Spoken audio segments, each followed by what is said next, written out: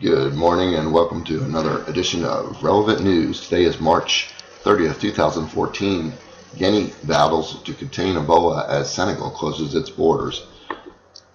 Guinea is racing to contain a deadly Ebola epidemic spreading from its southern forest to the capital Conakry as neighboring Senegal closes its borders. The European Union pledged 500,000 euros or $690,000 to fight the contagion, while the Senegalese Interior Ministry said border crossings to Guinea would be closed until further notice.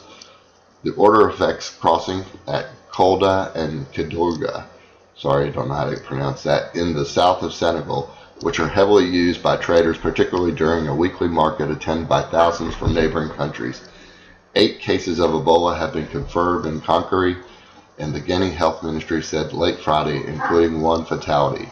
Across the country, the total number of suspected cases recorded from January 28 to March 2014 is 111 cases of the hemorrhagic fever, including 70 deaths, or a fatality rate of 63%, the ministry said in a statement. Guys, this Ebola thing is really scary if it jumps and becomes, uh, it starts affecting people out of Guinea, this could get to be a very dangerous situation. So keep your eyes open on this one. More about the earthquake in Los Angeles. 5.1 quake displaces Los Angeles area residents after shocks continue. 20 miles south of Los Angeles on Friday, a magnitude 5.1 earthquake struck. A strong shake hit the region just after 9 p.m. local time, but no major damages were caused. A moderate quake that rattled a swath of south southern California forced dozens of people in one community out of their homes after firefighters discovered foundation problems that made the buildings unsafe to enter, and authorities said. Fire crews tagged 20 apartment buildings in the area in a building of Orange County Fullerton after a major foundation crack was found. Structural woes, including broken chimneys and leaning, were uncovered in a half a dozen single-family homes, which were also deemed unsafe to occupy until building inspectors cleared the structures. The damage displaced 83 residents. Despite the evacuation, Friday night's magnitude 5.1 quake centered about 25 miles south of downtown Los Angeles. The quake was preceded by two smaller foreshocks and more than 100 aftershocks, following including a magnitude 4.1 that hit Saturday afternoon, the largest in the sequence so far. No injuries were reported. Residents were inconvenienced and some lost valuables, but thankfully the damage wasn't greater. Business owners in Orange County spent the aftermath sweeping up shattered glass and restocking shelves. Utility crews worked to restore power and shut off gas leaks and water main breaks a rock slide in Canyon County area nearby Brea remain closed to traffic.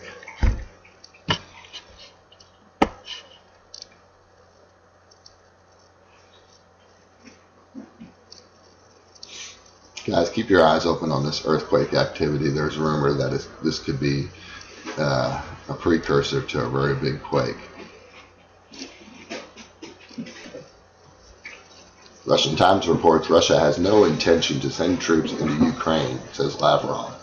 There is no intention in Moscow to send its troops into the eastern Ukraine, Russian Foreign Minister Sergei Lavrov said. Hopefully, the growing understanding in the West of Russia's position will allow for a de escalation of tensions, he added. In an interview with uh, 24 Channel TV, Lavrov spoke on the futile attempts to isolate Russia diplomatically.